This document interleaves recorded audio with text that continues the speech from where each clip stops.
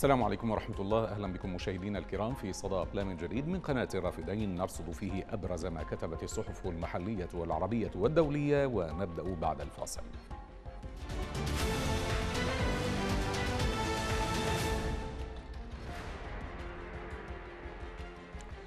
نبدأ من صحيفة إيلاف ومقال للكاتب جواد بشارة جاء فيه. يمكننا القول إن العراق يقف على حافة الهاوية بعد نتائج انتخابات أكتوبر من عام 2021 فالشعب العراقي كان عازفا عن المشاركة وقاطع الانتخابات بنسبة 80% لأنه فقد الثقة بالطبقة السياسية الحاكمة في العراق برمتها منذ عام 2003 وأغلب مكونات هذه الطبقة هي أحزاب وكتل تمتلك فصائل مسلحة وميليشيات مدججة بالسلاح. بعضها خارج على القانون وتتبع دولة أجنبية هي إيران وتعمل على فرض إرادتها بالقوة وتهديد والتهديد بالسلاح وكسر إرادة الخصوم وخاصة إرغام الشعب وتركيعه ومحاربته في قوته اليومي ومعيشته. الإطار التنسيقي مصر على المشاركة في الحكومة القادمة وتقاسم الكعكة. أي الوزراء والمناصب والامتيازات السياسية والمالية والسلطة والسطوة. واستمرار المحاصصة بحجة أن التحالف الثلاثي يجرد المكون الشيعي من استحقاقه الذي تكرس وفق عرف سياسي وليس دستوريا.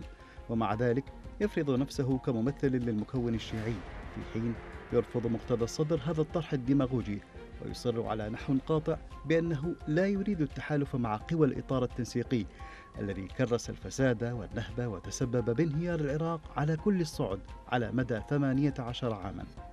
وعندما حاول التحالف الثلاثي إيجاد حل مؤقت للانسداد السياسي ومحاولة توفير سبل العيش للشعب العراقي المنغلق حاليا بسبب عدم تشريع الموازنة فاقترح قانون الأمن الغذائي فقام الإطار التنسيقي بتحريك المحكمة الاتحادية لإصدار قرار يمنع الحكومة من تشريع مثل هذا القانون لأنها حكومة تصريف أعمال. ومنع البرلمان من تشريع القوانين بغياب حكومة جديدة يقوم الإطار التنسيقي بمنع تشكيلها كثلث المعطل وكسر النصاب في البرلمان باستمرار وعناد بطريقة كسر العظم في حالة عدم الوصول إلى حل يتنازل الإطار عن مطلبه بالمشاركة في حكومة توافقية مرفوضة صدريا وذهابه للمعارضة. لن يكون أمام التحالف الثلاثي سوى حل البرلمان وإعادة الانتخابات. الأمر الذي لا يحظى بموافقة وارتياح البارتي وتحالف سيادة السني فالفوضى أمام الجميع والتوافق القسري خلفهم. فكيف الخروج من هذا المأزق؟ يقول سحبان فيصل محجوب في موقع كتابات قبل أيام قليلة فوجئنا بتصريح تلفزي صادم على لسان المسؤول الأول لقطاع الكهرباء. تضمن ما يفيد بأن العراق بحاجة إلى استيراد الغاز الإيراني لمدة من خمسة إلى عشرة سنوات مقبلة. إن صحت هذه التقديرات فهي إشارة عجز واضحة لعموم قطاع الطاقة في العراق والذي سوف يلقي بتبعاته على جوانب الأمن القومي. كما تؤشر أيضا إلى الإخفاق, إلى الإخفاق الكبير في استغلال الموارد الطبيعية في إنتاج الطاقة وتحقيق أمنها. وتاليا فهي تعني غياب أحد الشروط الأساس في تحقيق النمو الاقتصادي.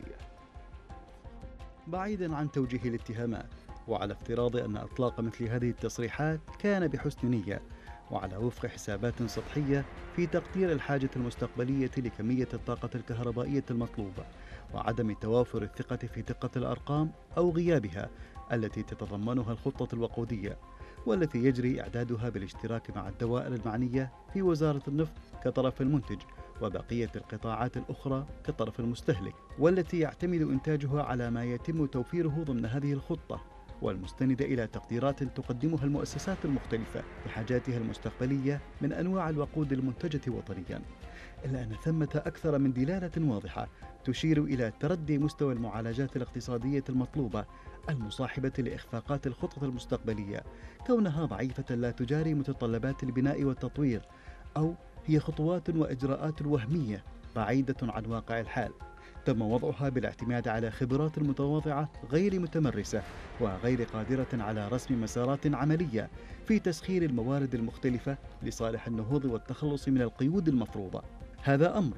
أما الأمر الآخر الذي يمثل في خطورته تهديدا كبيرا لمستقبل المجتمع العراقي ورفاهيته فهو التعمد المسبق للإبقاء على حالة التردي للقطاعات الإنتاجية وضمان استمرارها في الاعتماد على الموارد الخارجية لأهداف اقتصادية وسياسية معروفة.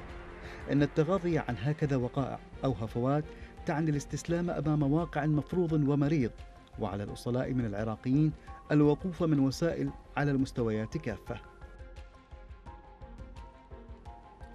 نشرت مجلة فورين بوليسي تقريرا أشارت فيه إلى تعامل الاحتلال الإسرائيلي مع جنازات الفلسطينيين كتهديد أمني. أضافت الصحيفة في تقرير أن سلطات الاحتلال تعاملت مع جنازة الصحفية الفلسطينية شيرين أبو عاقلة على أنها تهديد لأمنها. تذكر المجلة أن شيرين لم تكن سياسية أو معارضة وبعد وفاتها تحولت إلى أيقونة فلسطينية وتعاملت السلطات الإسرائيلية مع جنازتها وكأنها تهديد أمني. وتقول المجلة إن الأسباب التي دعت الشرطة الإسرائيلية لتخريب الجنازة غير واضحة وإن كانت تخطط لتخريبها منذ البداية. تصرفات إسرائيل في جنازة أبو عقرة تكشف عن أنها كانت معنية بالأثر الدائم لجنازة أيقونة فلسطينية أكثر من التداعيات السلبية من جماعات حقوق الإنسان والمجتمع الدولي.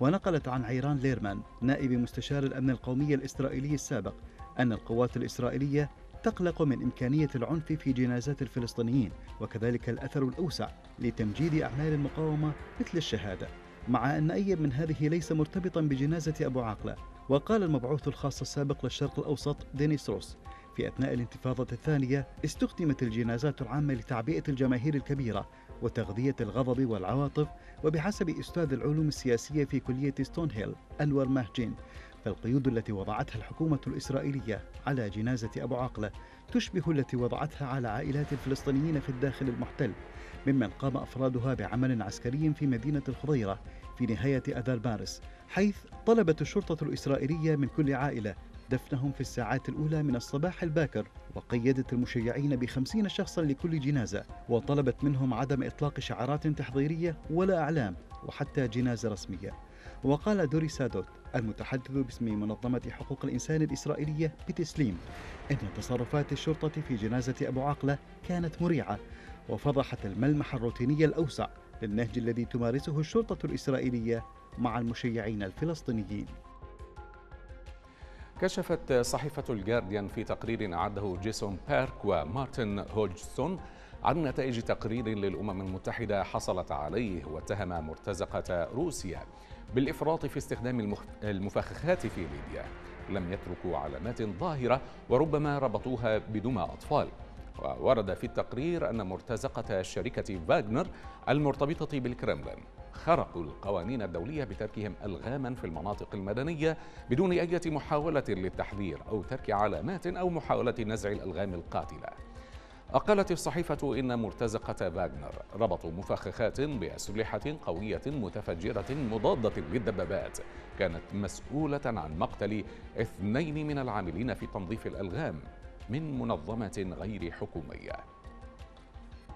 وأشارت إلى أن محققين يشككون في أن مفخخة عثر عليها في حي مدني بطرابلس ومصنعة من قنابل هاون ومتفجرات بلاستيكية ربطت بدنيا هي من عمل مرتزقة فاغنر ولفتت إلى أن نتائج التقرير الذي أعده فريق متخصص يعمل للجنة بالأمم المتحدة مهمتها مراقبة العقوبات وحظر تصدير السلاح إلى ليبيا ستعزز القلق في العواصم الغربية عن الدور الذي لعبته فاغنر في أفريقيا.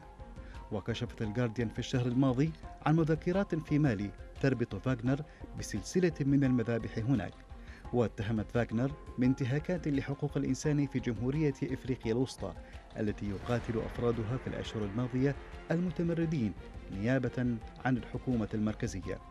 ويتهم مقاتلو فاغنر بقتل المدنيين خلال الغزو الروسي لأوكرانيا. ورجح خبراء وجود حوالي 2000 مرتزق تابعين لفاغنر في ليبيا بين آذار مارس 2021 ونيسان إبريل 2022 كانوا يدعمون الجنرال خليفة حفتر. وقاموا بزراعة عدد من الألغام الضخمة للدفاع عن مواقعهم قرب طرابلس. وبناء على القانون الدولي فقد كان على فاغنر وضع علامات على الأماكن وأن تحذر السكان المحليين وأن تنزعها عند انسحابها بعد عدة أسابيع. وأن الفشل في هذه الإجراءات يعتبر جريمة حرب بحسب ميثاق جنيف. نشرت صحيفة نيزافيزيمايا الروسية تقريرا تحدثت فيه عن الزيارة التي أداها الوفد الحكومي الأمريكي بقيادة مساعد وزير الخارجية الأمريكي لشؤون جنوب ووسط آسيا دونالد لو آه، إلى كل من قيرغيزستان وأوزبكستان. آه، قالت الصحيفة في تقريرها الذي ترجمته عربي 21 إنه في خضم الجولة التي استمرت حتى 27 من الشهر الجاري يعتزم الوفد الأمريكي زيارة كل من كازاخستان وطاجكستان أيضا بهدف توطيد العلاقات الأمريكية مع المنطقة وتعزيز الجهود المشتركة لخلق بيئة آمنة. الولايات المتحدة تسعى إلى منع دول آسيا الوسطى من مساعدة روسيا في الالتفاف على العقوبات الاقتصادية المفروضة عليها وإقناعها بالاصطفاف إلى جانبها. وتعتبر هذه الزيارة الثالثة من نوعها التي يؤديها وفد أمريكي رفيع المستوى إلى دول آسيا الوسطى خلال الفترة الأخيرة. أشارت الصحيفة إلى أن الوفد الأمريكي يضم أيضا ممثلين عن البنتاغون ومجلس الأمن القومي وشركة تمويل التنمية الدولية الأمريكية والوكالة الأمريكية للتنمية الدولية. ومن جانبها صرحت وزارة خارجية قرقيزستان أن الطرفين ناقشا المسائل المتعلقة بالعلاقات القرقيزية الأمريكية وتطرقا إلى القضايا الإقليمية والعالمية على رأسها أهمية إرساء تعاون فعلي يؤثر بشكل ملحوظ على التنمية الاجتماعية والاقتصادية لقرقيزستان. نقلت الصحيفة عن المستشار السابق لرئيس وزراء قرقيزستان ومدير مركز الحلول الاستراتيجية أبليكاتا كوبات رحيموف أن اهتمام الولايات المتحدة بصيغة سي 5 زائد واحد زاد في الآونة الأخيرة وعن طريقها تعمل واشنطن على العثور على موطئ قدم في المنطقة من خلال برامج الوكالة الأمريكية للتنمية الدولية واستئناف أنشطة العبور وحتى تمركز القواعد الجوية العسكرية الكاملة في آسيا الوسطى. أخيرا نشرت صحيفة الجارديان تقريرا لورينكا ستيرزيزينكا قالت فيه إن الدنمارك أجبرت طالبي اللجوء السياسي على العودة إلى سوريا ضمن سياسة صفر لجوء سياسي. قالت إن مريم عواد 22 عاما لا تستطيع أن تتذكر وقتا نامت فيه بهدوء وربما كان قبل رفض طلبها لتجديد ترخيص إقامتها كلاجئة في الدنمارك. قبل عامين وقبل عام 2015 عاشت العائلة في بلدة صغيرة خارج العاصمة دمشق ولكنها هربت بعد, بعد اعتقال النظام شقيقها الأكبر. هذا الوضع ليس استثناء. ففي عام 2019 أبلغت الحكومة الدنماركية مئات اللاجئين من منطقة دمشق بأن إقامتهم لن تتجدد. وعلى خلاف الولايات المتحدة والاتحاد الأوروبي فقد رأت الدنمارك أن المنطقة آمنة لعودة اللاجئين. تقول ليزا بلينكنبرغ من منظمة أمنستي انترناشنال في الدنمارك في 2015 شاهدنا تغييرا في التشريعات والتي تقضي بحرمان اللاجئ من حق الإقامة بسبب التغييرات في بلدانهم ولكن يجب أن لا يكون التغيير أساسيا. وفي عام 2019 قررت الحكومة الدنماركية أن العنف قد توقف في دمشق بدرجة يمكن للسوريين العودة. وتقول بلينكنبرغ أن سياسة الدنمارك من طالبي اللجوء واللاجئين أصبحت معادية خلال السنوات الماضية. وفي عام 2019 أعلن رئيس الوزراء أن الدنمارك تريد صفر طالبي لجوء وهذه إشارة قوية في الحقيقة. وأضافت مثل بقية الدول الأوروبية هناك دعم قوي للأحزاب المتطرفة في الدنمارك وهو ما أرسل رسالة قوية للحكومة. حسنا الدنمارك لن تكون بلدا يرحب باللاجئين أو طالبي اللجوء أثرت هذه السياسة على النساء الشابات أو النساء المتقدمات في العمر. ولم تطل الشباب الذين قد يجبرون على الخدمة الإلزامية في الجيش أو الأطفال الذين يدرسون في المدارس الدنماركية.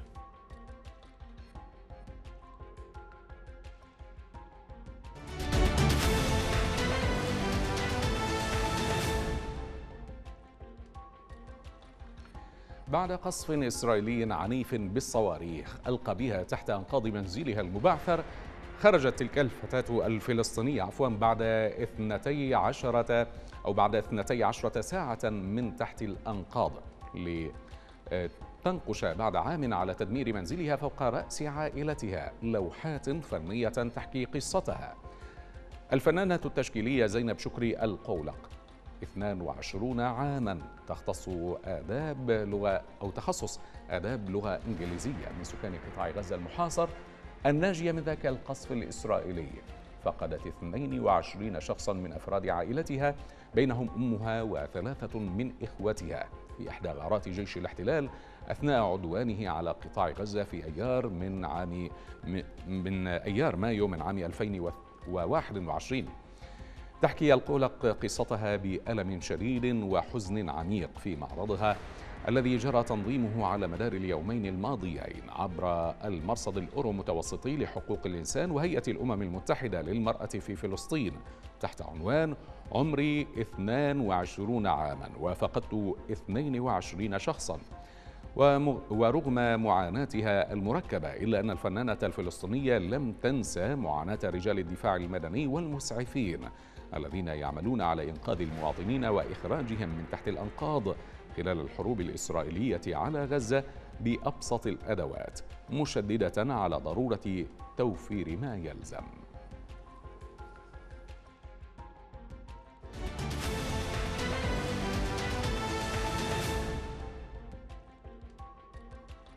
والآن مشاهدينا إلى الرسوم الكاريكاتيرية.